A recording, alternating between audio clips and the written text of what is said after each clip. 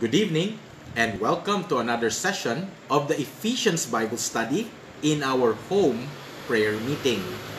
For our study of the Word of God this evening, please turn your Bibles with me to Ephesians chapter 4 and tonight we'll be studying verses 26 up to verse 27 of this passage. But for us to see the force and the logical flow of this passage, let's read starting from verse number 21.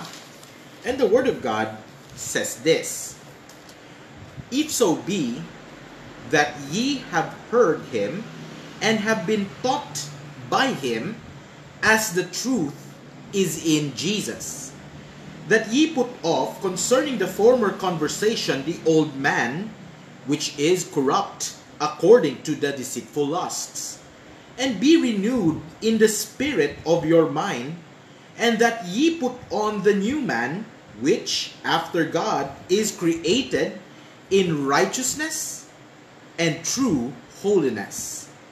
Wherefore, putting away lying, speak every man truth with his neighbor, for we are members one of another. And here's our passage Be angry and sin not. Let not the sun go down upon your wrath. Before we expound on, and neither, verse 27, neither give place to the devil. Before we expound on the Word of God this evening, let us first come to the Lord in prayer. Let us pray. Father, today we come before you knowing that you are God and that you have given us set of instructions as how to walk in true holiness and righteousness being made new by your Son. Tonight, Father, I pray that as we look into your word, may you guide us into all the truth. Help us to see the things you want us to see, and may the truths, Father, that we receive from your word this evening simply burn in our hearts in Jesus' name. Amen and amen. For the past weeks, we have learned that we, as we have heard Christ and have been taught by Him, we are to put off the old man and put on the new man. This new man is created, as we have read, is created after God's righteousness and true holiness. This true holiness and righteousness is actually expressed not simply as an ideal, but an actuality in verses 25 to verse 31. Last week, we saw that the way of the new man is marked by speaking truth. Tonight, we will see in our passage the way of the new man is marked by anger without sin. Now, this passage that we're going to study tonight is one of the verses that has been misused, misinterpreted, and misapplied. The reason for this is due to the following factors. Number one, a misunderstanding of what anger truly is outside cultural and religious norms. We have falsely assumed that anger is sinful in and of itself. It's common human understanding. But if that is the case, then God and the Lord Jesus Christ Himself, who has expressed anger, had sinned. And we know that cannot be. The root cause of this mindset is the failure to actually read the biblical texts as well as being unaware or in denial of the scriptures that show the anger of God and the Lord Jesus Christ. One of the many passages that show the anger of God would be Colossians chapter 3 verse 6. If you would turn your Bibles to that, we would read these very words. For which things sake the wrath of God cometh on the children of disobedience. Now hold that thought. God was angry at the children of disobedience. That is one of the many examples of the anger of God. Think about Noah's flood or Sodom and Gomorrah. We also see the anger of the Lord Jesus Christ in Mark chapter 3 verse 5. If you look at that, this is what the word of God says. And when he looked, he had looked round about on them with anger. This is the Lord Jesus Christ. Being grieved for the hardness of their hearts. He saith unto the man, Stretch forth thine hand. And he stretched it out, and his hands, his hand was restored whole as the other. What do you see is common between those two? Now let us look another at another verse in Matthew chapter 5 verse 22 which is actually very important to understand Matthew chapter 5 verse 22 says these very words it says but I say unto you that whosoever is angry with his brother without a cause okay, shall be in danger of the judgment. And whosoever shall say to his brother, Raca, shall be in danger of the council. But whosoever shall say, Thou fool, shall be in danger of hellfire. Now, you would see that that is the common ground in the anger of God and the anger of the Lord Jesus Christ, and that is that it has a just cause. Now, if there is an anger that is without cause, which is sin, then therefore there is also a righteous cause for anger, which makes it not sin. Hence, our passage tonight says, Be angry and sin not. Now, that is the main clause of our passage tonight, and we'll look, about, look at that more later. Now, another factor for misunderstanding misusing and misapplying this passage is number two, a misinterpretation of the passage based on ignoring the rhetorical idiomatic expressions. Now, what does it mean in our passage when it says, Let not the sun go down on your wrath? Now, does it mean to resolve your issues before the sun sets? as said by many uh, marriage seminars, this interpretation actually had put more strain on couples than actually helping them work through their issues. The boast of many many marriage experts actually doesn't help. And I think many of them are lying or downplaying something. Now we will be looking more on that past that part of that passage later on. Also, what does it mean to neither give place to the devil? Does it mean opportunity as the modern versions say it? While the real the Greek word is actually topos or where we get the word topography, okay? And literally means place. What does it mean to neither give place to the devil? Now we'll look at more of that later on. But what is failed to be seen is that idiomatic expressions that these two lines in verse 26c and verse 27 are actually conveying. Another factor, number three, is that the application has been popularized as to be for marriage and relationships. Now, the limited ap- application faultily narrows the general applications intended by the author and seen in the context. It is not meant for marriage only. That's a very important to remember. But it applies to a whole plethora of the human experience as a mark of the new man's way of life. Now, with this in mind, let us expound our passage. Our prayer for you tonight is simply this The way of the new man is marked by anger without sin. The way of the new man is marked by anger without sin. Now let's look at our passage and see the following things one by one. The first one is the command regarding anger.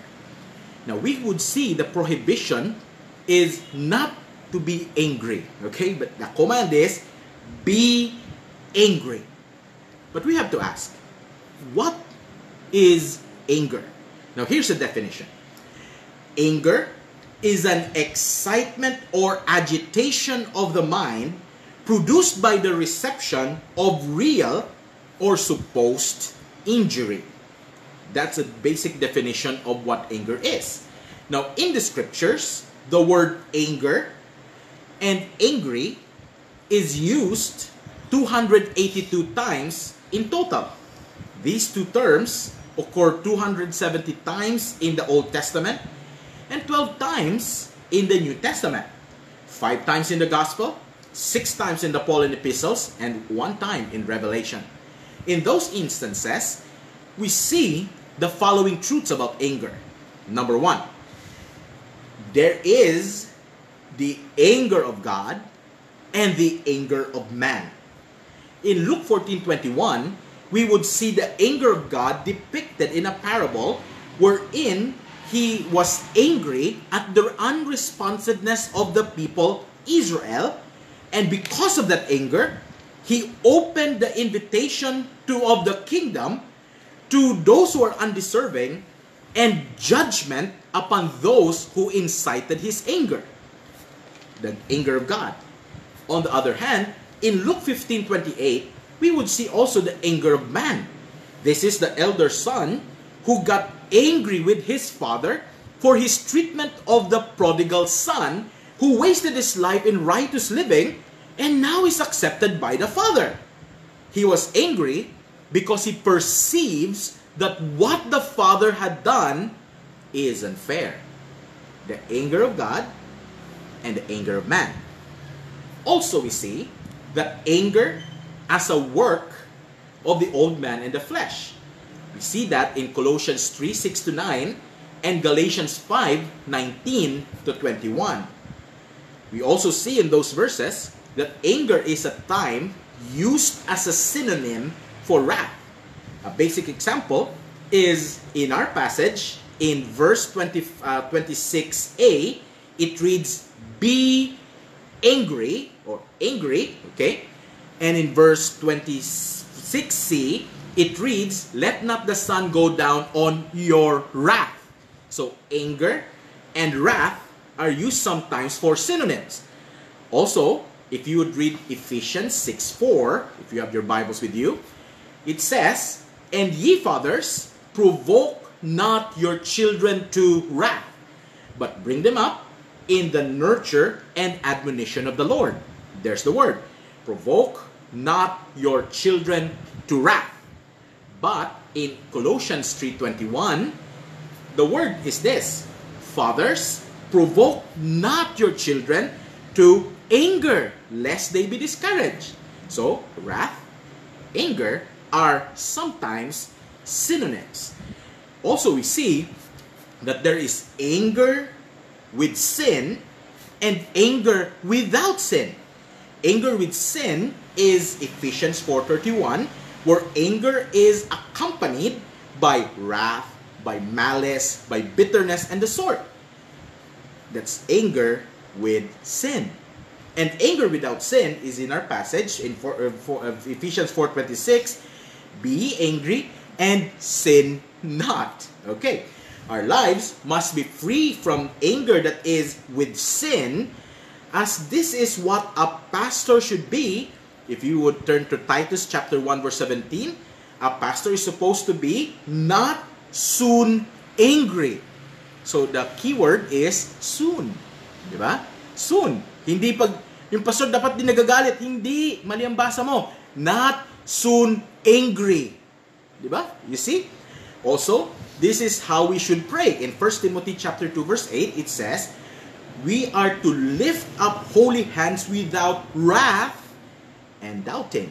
So, we have to be free from anger with sin. Next we read, we say the command, "Be ye angry," and it's important to follow it up with the second line, "and sin not." Baka mamaya ma patayin nyo na tong video at sabihin nyo, oh, sabi ni Pastor, be ye angry. May kasunod pang line, mga kapatid. And sin not. Now, here's the interesting part. Okay, here's the interesting part. This part is what is normally missed when this passage is dealt with. So I want you to keep your Bibles open and I want you to really pay attention, okay? Kasi napakaliit nitong bagay na to para makita natin yung kung anong sinasabi ng passage. Now, notice that our main clause has two independent clauses. Okay, an independent clause means it can stand alone. So, be angry is an inde- independent clause. You have a subject, ye, you have a verb, angry. So, subject, verb, it stands alone. Independent clause number one. Independent clause number two is and sin not. So, you have a subject, ye, that is implied in the imperative, and sin not. You have a subject and you have a verb. So, you have two independent clauses on the main clause. Now, this is a parallelism. Okay? It's not antithetic because it's uh, combined by the word and. Okay? It's synthetic because the first line is added to by the second line. Be angry and sin not. Okay? So after that line, if you're using a King James Bible, very good, you will notice a colon. Okay, hindi yan body part. Okay, hindi yan colon na body part ha. But a punctuation mark. The King James retained the colon that is in the Greek texts of Stephanos, the Byzantine, Scrivener, and even the Nestle Aland in the BGT. So it's in the Greek text. The King James kept the colon But the New American Standard, the ESV and the CSB, did not. Now, here is what a colon is for. Number one, it is to indicate a list. Okay. Number two, it is to make an expla- explanation where the clause after the colon explains the clause before the colon.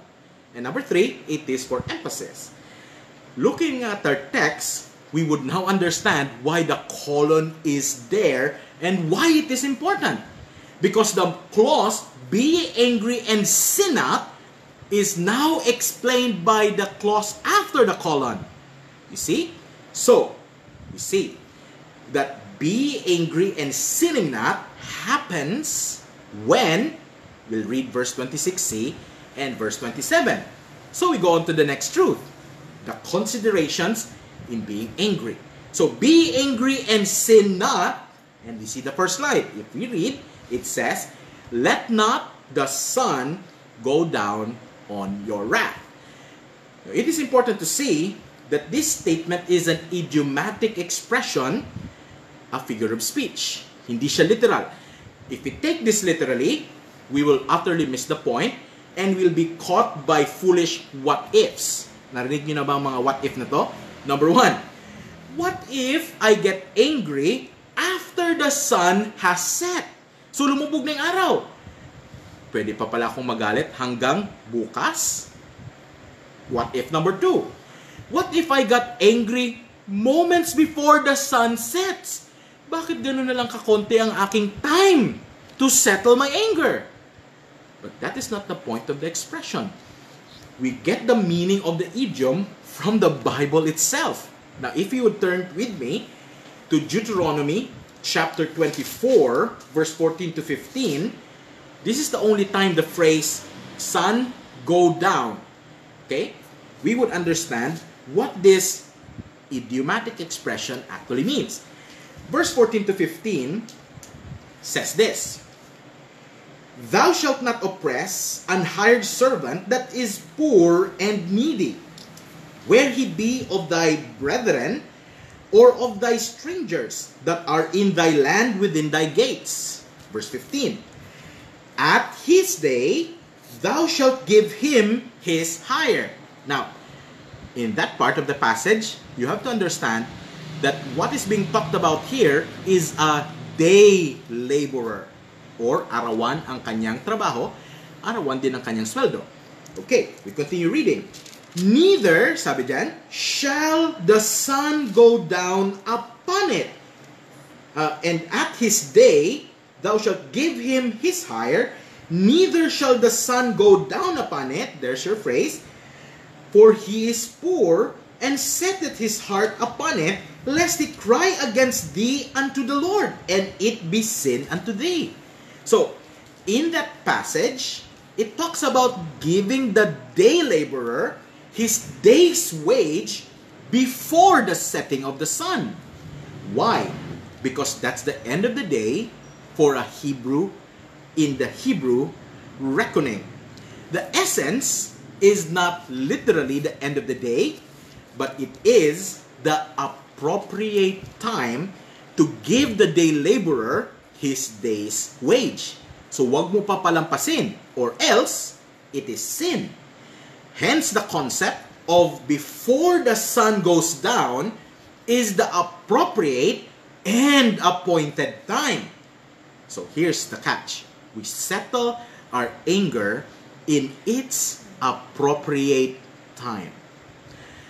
We have to bear in mind that for whatever reason or cause that you may need to settle your anger, I want you to know today that the reason and cause has already been settled 2,000 years ago when the Lord Jesus Christ died for our sins, was buried, and on the third day rose again. Friends, we have to know that we are sinners separated from God and we are totally antagonistic to God. We are His enemies.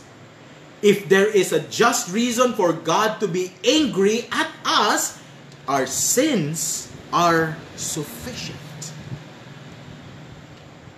But instead, instead, God sent His Son, the Lord Jesus, who is God manifest in the flesh, who died for our sins, being delivered for our offenses, and raised again for our justification. There at the cross, every sin imaginable, past, present, and future, has been settled once and for all by the Lord Jesus Christ, who died for our sins, was buried, and the third day rise again. All of this has been settled. We are called to believe in who Jesus is as God manifest in the flesh and what He has done, His finished work on the cross that is sufficient for eternal salvation. On the basis of that truth, the cause or reason that we have to settle our anger against anyone at any time has been settled. So we have to resolve our anger by the grace of God in its appropriate time. This phrase goes hand in hand with the next phrase. You see the line, neither give place to the devil. Now, the concept behind this expression is not to give the devil a foothold during our time of anger. This happens when anger is prolonged beyond its appropriate time. So it works hand in hand. Be angry and sin not, deal with your anger in the appropriate time. Do not give the devil a foothold. Give not the devil a place. Consider these circumstances that give the devil a place. Okay? Number one, when there is no sufficient cause, like when receiving gossip. Okay? Here, the devil takes a foothold, causing us to get angry at someone without sufficient cause. If the gossip is about someone else, is there sufficient cause for us to be angry and take the side of the gossiper or be influenced by him?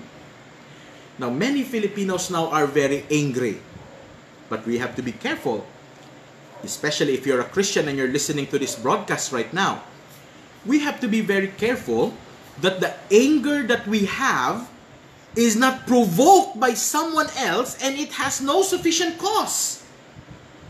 One of the place of the media today is to anger us without sufficient cause. Hindi ba? Many of us don't like the barrier or the face shield. But is our anger rational and logical? Is it sufficient cause? Kasi if you don't like the barrier, test it. And if you say magastos or you believe the reason, so on and so forth, think of it. What will be done if you get angry? Hindi ba wala lang? So, that's a problem. That's a problem. You're being incited by the media.